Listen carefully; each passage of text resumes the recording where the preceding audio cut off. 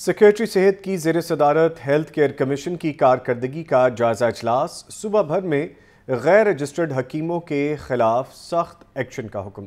بلال چودھری بتائیں گے اس بارے میں مزید۔ جی بلال چودھری۔ جی بالکل، آج صوبائی سیکٹری محکمہ specialized health care and medical education barrister Nabeel Ahmad Awan نے C O Punjab health care commission doctor Mushtaq Salaria کو صبح بھر میں غیر رجسٹرڈ حکیموں کے خلاف سخت ایکشن لینے کا حکم دے دیا ہے اور آج صوبائی سیکٹری سے نے یہ حکم اپنے دفتر میں پنجاب ہیلتھ کیئر کمیشن کی کارکردگی کے جائزہ اجلاس کے دوران صدارت کرتے ہوئے کہا اس موقع پر محکمہ سیکٹری اعلیٰ افسران بھی موجود تھے۔ اس موقع پر برسٹر نبیر احمد اوان کا یہ کہنا تھا کہ پنجاب ہیلتھ کیئر کمیشن صوبے میں، صوبہ بھر میں لائسنسنگ اور رجسٹریشن کا عمل جلد مکمل کرے۔ غیر قانونی حکیم موت بیچ رہے ہیں اور محکمہ ایسے سنگین اور گنونے کاروبار میں ملوث اراستہ کو کیفے کردار تک پہنچائے گا۔ ان کا مزید یہ کہنا تھا کہ پنجاب ہیلتھ کیئر کمیشن کی کارکردگی کو مزید بہتر بنانے کے لیے اصلاحات لائی جا رہی ہیں۔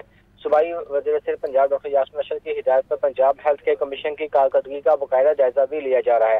ان کا مزید یہ کہنا تھا کہ پنجاب میں صحت کے دشمنوں کا کاروبار کسی صورت نہیں چلنے دیں گے۔ سادہ لو انسانوں سے پیسے بٹورنے والوں کا محاصرہ کریں گے۔ اس حوالے سے تمام تر جو اختیارات ہیں۔ پنجاب ہیلتھ کیئر کمیشن اور محکمہ صحت سونپ رہی ہے، جس کی وجہ سے ان تمام جو عطائی ڈاکٹرز ہیں، حکیم ہیں، ان کے خلاف سخت قانونی کاروائی کی جائے۔ جی۔ سخت قانونی کاروائی کی جائے۔ ان عطائیوں کے خلاف بہت شکریہ، بلال چودھری۔